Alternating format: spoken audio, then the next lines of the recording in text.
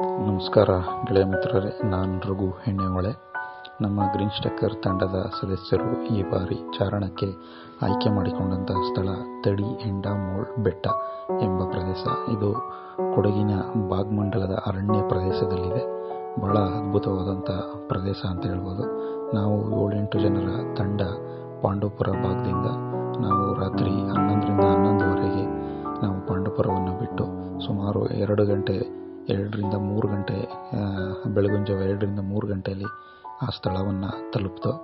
ಈ ಒಂದು ಪ್ರದೇಶ ಇರುವಂಥದ್ದು ವಿರಾಜಪೇಟೆಯಿಂದ ಇಪ್ಪತ್ತೆರಡು ಕಿಲೋಮೀಟ್ರ್ ದೂರದಲ್ಲಿ ಈ ಒಂದು ತಡಿ ಎಂಡಮೂಳು ಬೆಟ್ಟ ಇದೆ. ನಾವು ಬೆಳಿಗ್ಗೆ ಆರರಿಂದ ಏಳು ಗಂಟೆ, ಆರೂವರೆಗೆ ಈ ಒಂದು ಚಾರಣವನ್ನು ಶುರು ಮಾಡಿದೆ ಭಾಳ ಅದ್ಭುತವಾಗಿತ್ತು. ಏಳು ಎಂಟು ಕಿಲೋಮೀಟ್ರು ದೂರ ಇರೋ ನಡೆಯುವಂಥ ಒಂದು ಚಾರಣ ಈ ಪಿಕ್ ಬೆಟ್ಟಕ್ಕೆ ತಲುಪಬೇಕಾದ್ರೆ ಏಳೆಂಟು ಕಿಲೋಮೀಟ್ರ್ ಆಗುತ್ತೆ.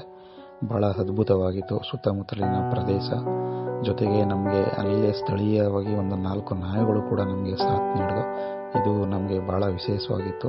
ನಮ್ಮ ಜೊತೆನ ಬೆರೆತು ಮೊದಲನೇ ಭಾಗದಿಂದ ಹಿಡಿದು ನಮ್ಮ ಚಾರಣ ಮುಗಿಯುವವರೆಗೂ ಕೂಡ ಆ ಒಂದು ನಾಯಿಗಳು ನಮಗೆ ಸಾಥ್ ಕೊಟ್ಟು ಭಾಳ ಖುಷಿಯನ್ನು ನೀಡಿತು. ಹೊಸ ಅನುಭವವನ್ನು ಆ ನಾಯಿಗಳು ನಮಗೆ ನೀಡಿದವು ಒಟ್ಟಿನಲ್ಲಿ ಹೇಳಬೇಕು ಅಂದರೆ ಇದು ಭಾಳ ಅದ್ಭುತವಾದಂಥ ಚಾರಣವಾಗಿತ್ತು. ಸುತ್ತಮುತ್ತಲಿನ ಒಂದು ಬೆಟ್ಟ, ಗಾಡು ಪ್ರದೇಶ ಜೊತೆಗೆ ಅಲ್ಲಲ್ಲೇ ಮಂಜು ಕವಿದ ವಾತಾವರಣ, ಇವೆಲ್ಲವೂ ಕೂಡ ಬಹಳ ಮನಸ್ಸಿಗೆ ತೃಪ್ತಿಯನ್ನು ನೀಡಿತು. ನೀವು ಕೂಡ ಈ ಒಂದು ಸುಂದರವಾದಂಥ ಈ ಚಾರಣಕ್ಕೆ ಹೋಗಿ ಬರ್ಬೋದು. ಅದ್ಭುತವಾದ ಅನುಭವವನ್ನು ನೀಡುತ್ತೆ ಅಂತ ಹೇಳ್ಬೋದು ಗೆಳೆಯ ಮಿತ್ರರೇ.